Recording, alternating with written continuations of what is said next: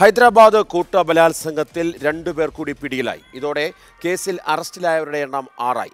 പിടിയിലായവരിൽ M L എയുടെ മകനും ഉൾപ്പെടുന്നു. കൂടുതൽ വിവരങ്ങളുമായി കെ ബി ശ്രീധരൻ ചേരുന്നു. ശ്രീധരൻ കാറിലാണ് കുട്ടിയെ പീഡിപ്പിച്ചത്. കൂടുതൽ വിവരങ്ങൾ എന്തെല്ലാമാണ്? ഇപ്പോ രണ്ടുപേർ കൂടി പിടിയിലായിട്ടുണ്ട്. അവർ രണ്ടുപേരും പ്രായപൂർത്തിയാകാത്ത പ്രതികളാണ്. നേരത്തെ ഈ കേസിൽ നാല് പ്രായപൂർത്തിയാകാത്ത ക്ഷമിക്കണം മൂന്ന് പ്രായപൂർത്തിയാകാത്ത പ്രതികൾ കൂടി പിടിയിലായിരുന്നു. അങ്ങനെ മൊത്തം ഒരു ഒരു യുവാവ് ഉൾപ്പെടെ മൊത്തം ആറു പേരാണ് ഈ കേസിൽ ഇപ്പോൾ പിടിയിലായിട്ടുള്ളത്.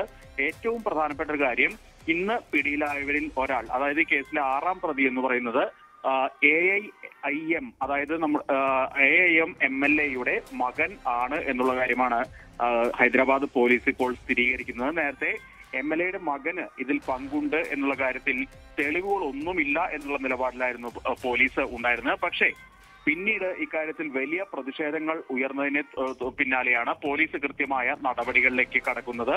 ഏതായാലും തെലങ്കാനയിൽ ഇതൊരു രാഷ്ട്രീയ വിഷയമായി മാറുന്നു. ഇതിന് തൊട്ട് പിന്നാലെ തന്നെ മറ്റ് രണ്ട് ബലാത്സംഗ കേസുകളിലൂടെ ഉയർന്നു വരുന്നു.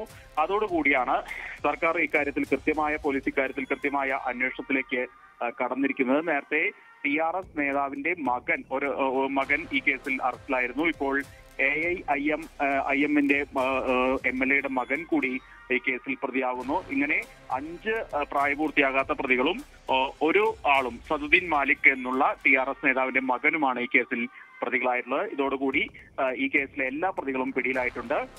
കഴിഞ്ഞ ഇരുപത്തി എട്ടാം തീയതി ജൂബിലി ഹിൽസ് പ്രദേശത്ത് വെച്ചാണ് കാറിൽ വെച്ച് ഈ പെൺകുട്ടിയെ ലിഫ്റ്റ് വാഗ്ദാനം ചെയ്ത് പെൺകുട്ടിയെ കാറിൽ കയറ്റി വിജനമായ സ്ഥലത്ത് കൊണ്ടുവച്ച് കാറിൽ വെച്ച് പീഡിപ്പിക്കുന്ന വിവരങ്ങൾ നൽകിയത് ഹൈദരാബാദിൽ നിന്ന്.